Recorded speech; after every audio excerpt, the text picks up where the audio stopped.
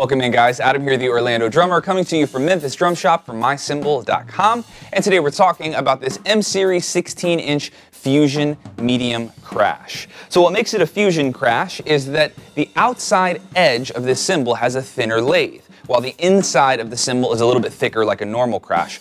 So what that does to a cymbal is it really leaves the cutting highs that are in the M series, it leaves those alone, but it adds some dark complexities and some lower undertones to the sustain of the cymbal.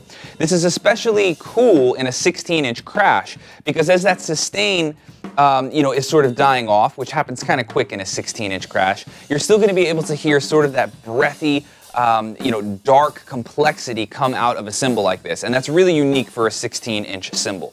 I think this would make a great effect cymbal on a kit. I certainly don't think it should be uh, your main crash cymbal, but it sounds really, really good against um, all of the other uh, rides and crashes in this same series and in the traditional M series as well. So it's a really, really musical cymbal, very versatile like all of the M series fusions are, and it's still got that awesome cut that you want from a modern sounding cymbal, and this is certainly a very, uh, cymbal has a very modern vibe, making it uh, versatile, and I think this would work in just about any genre of music you could think of.